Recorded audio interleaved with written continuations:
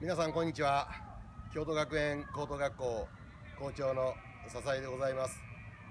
私は今アメリカカリフォルニア州のサンフランシスコ郊外モデスト市を訪問させていただいております。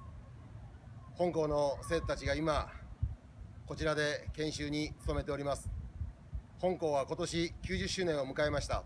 見学の精神世界を舞台に自分の意思で堂々と行動できる人を育てる。この思いを胸にこれからも国際理解教育に努めてまいります。どうか京都学園の教育にこれからもご期待ください。ありがとうございました。